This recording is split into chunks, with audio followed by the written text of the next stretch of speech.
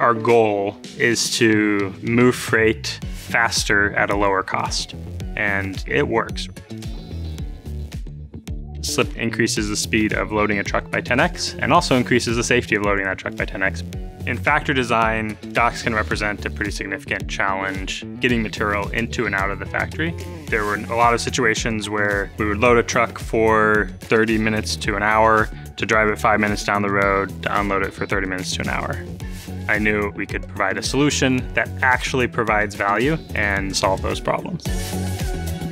What Slip provides to our customers is pretty simple. It's speed, safety, and savings. We load and unload trucks in five minutes.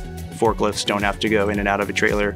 And we do that at any dock with any type of freight and with zero Wi-Fi or IT integration required. The manufacturing industry has a lot more material moving between buildings. So that takes a lot of people to unload those trucks. It can be time consuming and unsafe. Big heavy equipment moving around and crossing paths we have developed hardware that is specific to this problem, exactly for our customers. We are removing the human from the dark, dangerous areas, and the SlipBot really reduces total number of touches. We're not replacing a human with a robot that loads a truck the same way. We're completely replacing that process. We really believe in the cobot solution. We allow the humans to be flexible at what they're good at and the thing that the robot is very good at, it does by itself.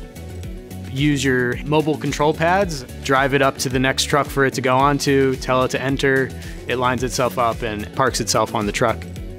A lot of automation projects typically take months, to, if not years, to fully implement. We can make meaningful contributions to your workflow on day one. There's no IT integration. It lets us show up to your dock and start working. It's actually really just the start. Customers get service and maintenance to ensure the way that the technology is actually being applied works even as their operations ebb and flow. Slip Robotics is obsessing over the customer. There is a 24 7 on call field engineer being proactive versus reactive to make their slip experience an even more impressive experience. It makes our life easier. After our first installment, we were using the SlipBots the same night. It's push button and you go. It's five minutes to load and unload where it was 30 minutes before. Now I can do up to six trailer moves in the same amount of time. So my throughput is increased. There's no question of is it going to save you time? Is it safer? It's saving us tons of money. It's the real deal. People that look at our solution can tell what we're trying to make is something that actually works and that actually matters.